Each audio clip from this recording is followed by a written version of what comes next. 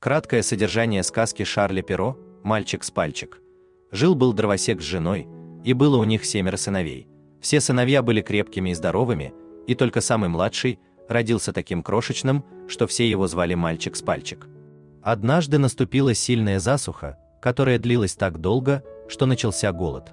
Не в состоянии больше прокормить семью, дровосек решил увести детей в дремучий лес. Он надеялся, что в лесу у них появится шанс выжить, поскольку дома их ждала верная смерть от голода. О планах родителей узнал мальчик с пальчик и набил свои карманы блестящими маленькими камушками. Когда отец утром отвел сыновей в лес, а после скрылся от них, мальчик с пальчик с братьями нашли дорогу домой благодаря разбросанным камням. Дома детей ждало настоящее пиршество. Сосед вернул дровосеку долг, и родители были рады, что дети смогли вернуться. Но вскоре вновь настали голодные времена, и отец в тот раз решил отвезти детей как можно дальше в лес. Вместо камушков мальчик с пальчик набил карманы хлебными крошками. Когда же дети стали искать дорогу домой, выяснилось, что все крошки съели птицы.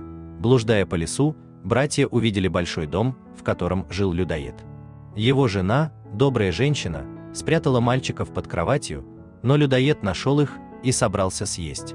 У него было семь дочерей, и сметливый мальчик с пальчик ночью поменял их короны на шапочки своих старших братьев.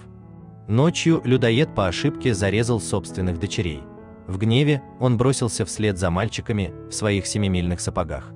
Братьям удалось вовремя спрятаться в пещере, а уставший людоед задремал возле них.